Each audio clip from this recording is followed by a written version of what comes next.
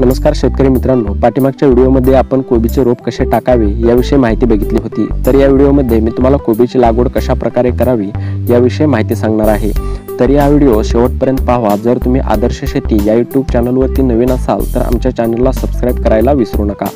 शेतकरी मित्रांनो कोणत्याही पिकाची लागवड करणे अवघड नसते परंतु त्या पिकाचे संपूर्ण ज्ञान आपल्याला घ्यायला हवे. तरी आज मी तुम्हाला कोबी पिकाची लागवड कशा प्रकारे करावी व त्याच्यासाठी पूर्व मशागत काय करावी हे पण सांगणार आहे.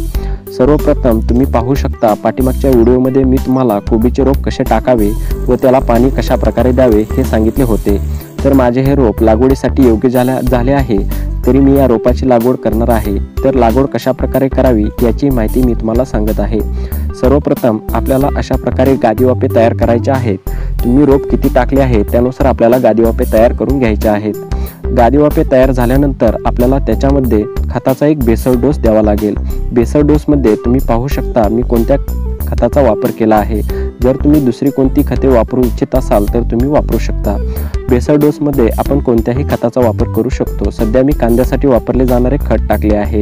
ही सर्व खते आपल्याला एका कागदावरती ओतून त्याला चांगल्या प्रकारे मिक्स करून घ्यायचे आहे. मिक्स केल्यानंतर आपण जे गादीवापे तयार केले आहेत त्या गादीवाप्यावर खत टाकावे. आता आपण पाहूया कोबीची लागवड कशा प्रकारे करावी. सर्वप्रथम आपण ज्या ठिकाणी रोप टाकले आहे त्या रोपाची मूळ प्रक्रिया करायची आहे. मूळ प्रक्रियेमध्ये आपल्याला ह्युमिक ॲसिड आणि बायोस्टीन या दोन औषधाचा उपयोग करावा लागेल. वीस लिटर पाण्यामध्ये तीन काडीपेट्या ह्युमिक ॲसिड आणि दोन काडीपेटी बायोस्टीन मिसळल्यानंतर कोबीच्या रोपाची मुळे त्या द्रावणामध्ये पाच मिनिटे बुडून ठेवावीत बुडून ठेवल्यानंतर एका स्वच्छ पाठीमध्ये त्या रोपांना एकत्रित ठेवायचे आहे. रोपे एक ते दीड तासामध्ये लावावी लागतील नाहीतर आपले रोप सुकायला सुरुवात होते.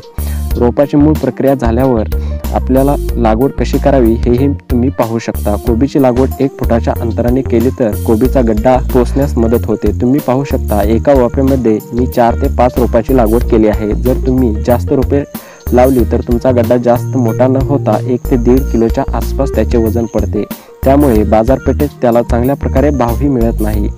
जर तुम्ही गड्डा जास्त मोठा असेल तर त्याचा भाव तुम्हाला थोडा कमी प्रमाणात बघायला भेटेल. म्हणून कोबीची लागवड करताना कधी एका फुटाच्या अंतराने करावी. कोबीची लागवड दाट केली तर त्याचे वजनही चांगल्या प्रकारे भेटते आणि बाजारामध्ये एक किलोच्या गड्ड्याला भावही जास्त असतो.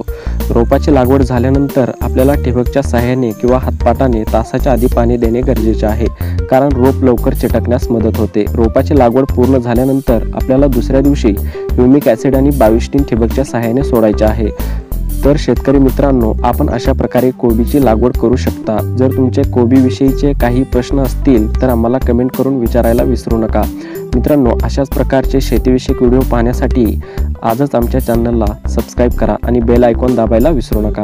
व्हिडिओ आवडला असेल तर व्हिडिओला लाईक करा आणि आपल्या मित्रांनाही शेअर करा. चला तर मग भेटूया पुढच्या व्हिडिओमध्ये. तोपर्यंत धन्यवाद.